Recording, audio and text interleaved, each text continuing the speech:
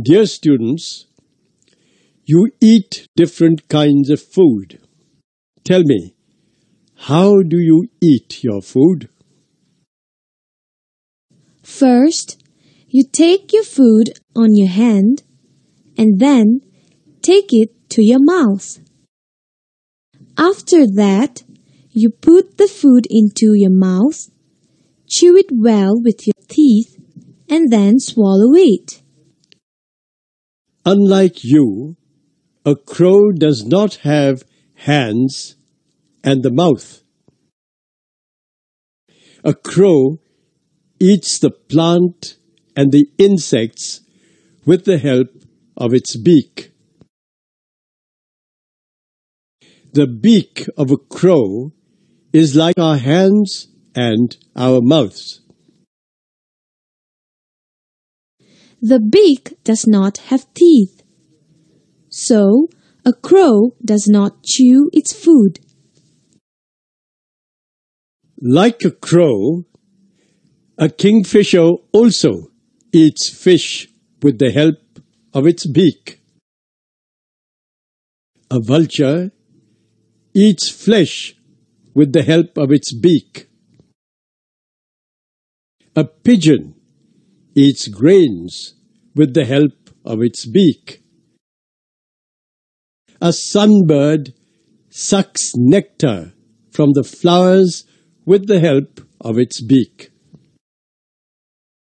All the birds eat their food with the help of their beaks.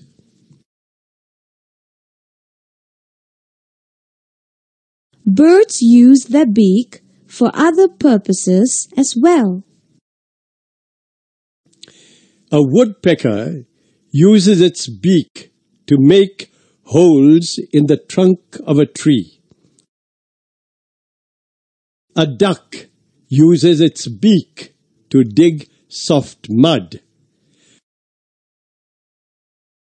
A cock uses its beak to fight with another cock. In addition to eating flesh, a vulture uses its beak to tear the flesh. So, birds use their beaks for different purposes. Different birds have different types of beaks.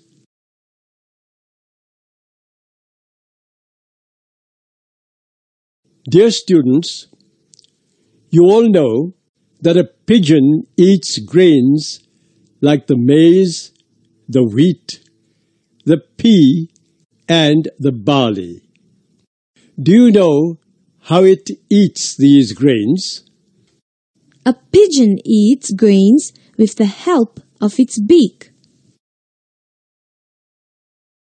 Look at the beak of a pigeon. It is short and thick. It is hard too. The short, thick, and hard beak of a pigeon helps it to pick and eat the grains. It also helps a pigeon to crack the seed.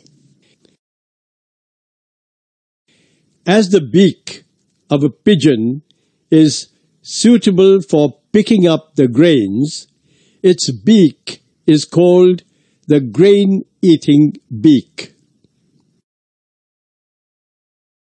The beak of a bird, like a sparrow and a dove, is also suitable for picking up the grains. So, the beak is also called the grain-eating beak. Now, look at this parrot. It is eating peanuts.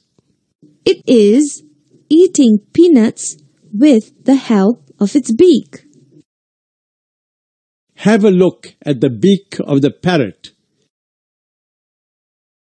It is hooked and curved. It is sharp and strong too. A parrot uses its hooked, curved, sharp, and strong beak to crack the peanut and eat it. As this kind of a beak helps the parrot to crack the nut. The beak of a parrot is the nut cracking beak. The beak of a hornbill is also the nut cracking beak. This is a hoopoe. It is an insect eating bird. Now look at its beak. The beak of a hoopoe is long, slender, and curved. This beak helps it to collect insects to eat. As the beak of the hoopoe helps it to collect insects, this kind of a beak is called the insect eating beak. So, the beak of the hoopoe is the insect eating beak. Students, most of the birds build nests to live in. Like most of the birds, a woodpecker also builds a nest to live in. A woodpecker builds its nest in the tree trunk. It makes a hole in the tree trunk to live in. Even though a tree trunk is very hard, a woodpecker uses its beak to make a hole on the tree trunk. The beak of a woodpecker is straight and strong. Its shape is like a chisel. The woodpecker uses its straight, strong, and chisel shaped beak to make holes in the trunk of the trees. As the beak of a woodpecker is used for wood chiseling, its beak is called the wood chiseling beak. A woodpecker also uses its beak to pull out the insect and the larva found in the bark of a tree. Now, this is a vulture. A vulture is a scavenger. It eats flesh of dead animals. A vulture uses its beak to tear the tough flesh of dead animals. A vulture has a sharp beak. Its beak is curved and powerful. A vulture uses its sharp, curved, and powerful beak to tear the tough flesh of dead animals. This kind of a beak is called the tearing beak. An eagle also has sharp, curved, and powerful beak. The beak of an eagle is also called the tearing beak. An eagle uses its tearing beak to tear and eat the flesh of other birds.